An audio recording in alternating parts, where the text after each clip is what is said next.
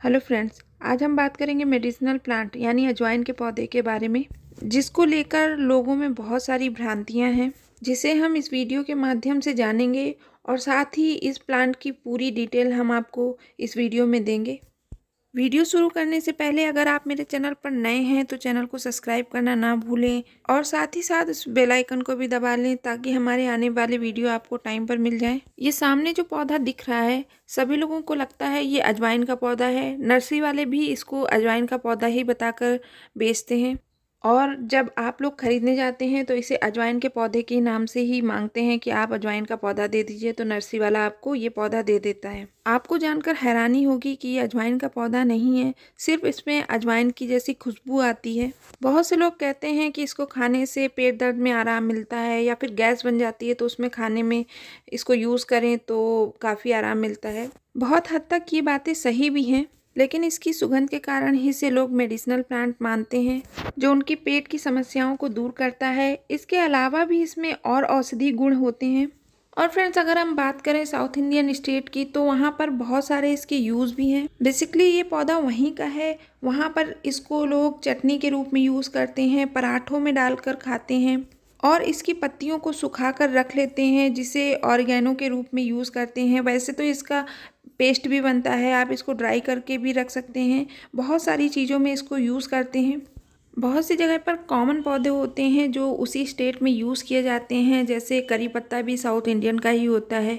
वैसे मैं बता दूँ कि ये अजवाइन का पौधा नहीं है, इसे कर्पूर वल्ली के नाम से जानते हैं। इस पौधे की महक अजवाइन के पौधे की जैसी होती है, इसलिए इंडिया में लोगों ने अजवाइन का पौधा कहना शुरू कर दिया और अपनी सुविधा के अनुसार इसे अजवाइन का पौधा ही मानने लगे। लेकिन फ्रेंड्स इसका असली नाम कर्पूर वल्ली ही है। और ये मेडिसिनल प्लांट ही है, लेकिन इसकी असली दवा कफ और खांसी के लिए बनाई जाती है। बेसिकली बच्चों के लिए इसकी खांसी की दवा बहुत ही फ़ायदेमंद होती है। कुछ लोगों ने इसको खाकर देखा तो उन्हें पेट दर्द में आराम मिला तो उसे ये पेट दर्द की दवा के रूप में भी यूज़ करने लगे। लेकिन ये कफ और खांसी के लिए ही मेडिसिनल प्लांट है। आयुर्वेदा में इसे बच्चों की कफ और खांसी के लिए यूज़ किया जाता है। और फ्रेंड्स मैं बता दूँ, इसे बहुत ही आसानी से आप कटिंग से लगा सकते हैं, बहुत ज़्यादा केयर नहीं करनी पड़ती है। सर्दियों के मौसम में इसमें फ्लावर भी आते हैं। इसकी पत्तियाँ थोड़ी मोटी होती हैं। और आप इसे फुल सनलाइट में रखिए या थोड़ी बहुत धूप आती हो, वहाँ रखिए, बहुत ही आसानी से ग्रो होता है। इसकी मिट्टी के लिए आप नॉर्मल मिट्टी में थोड़ी सी खाद मिला लीजिए। उसके बाद आप को कोई भी खाद देने की ज़रूरत नहीं पड़ेगी। आप होम मेड लिक्विड फर्टिलाइज़र वगैरह इसको देते रहेंगे। ये ऐसे ही ग्रो होता रहेगा। इसकी कटिंग आप किसी भी मौसम में लगाइए। ये चल जाती है। ये मैंने दो कटिंग अभी लगाई हुई हैं। और इसके लिए पॉट आप छोटा, बड़ा, जैसा भी चाहें वैसा रख सकते हैं। और फ्रेंड्स, इसमें इंसेक्ट बहुत कम ही अटैक करते हैं तो इसमें पेस्टिसाइड यूज़ करने की ज़रूरत नहीं पड़ती है। अगर कोई इंसेक्ट इसमें अटैक करता भी है तो उसके हिसाब से आप इसमें हल्दी पाउडर का छिड़काव कर दीजिए।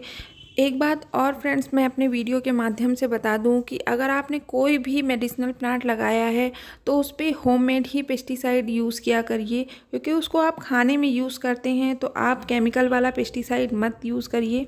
जैसा कि मैंने बताया था कि इसकी पत्तियाँ मोटी हैं तो इसमें पानी वगैरह ज़्यादा देने की ज़रूरत नहीं है। जब इसकी ऊपरी लेयर सूख जाए तो आप इसमें थोड़ा बहुत पानी दे दीजिए। और फ्रेंड्स, लोग इसकी पत्तियों को तोड़कर सुखा लेते हैं, जिसका यूज़ वो ऑर्गेनो के रूप में करते हैं, जो बहुत ही अच्छा स्वाद देता है। तो फ्रेंड्स, ये रही अजवाइन की पौधे की पूरी सच्चाई, जिसके बारे में मैंने पूरा डिटेल से आपको बता दिया इसकी केयर भी बता दी आपको, कैसे करनी है कहाँ कहाँ इसको यूज़ करते हैं। अगर इसमें से कुछ भी आपको पसंद आया हो तो प्लीज़ मेरे वीडियो को लाइक, शेयर करना ना भूलें। अभी के लिए इतना ही। Thank you.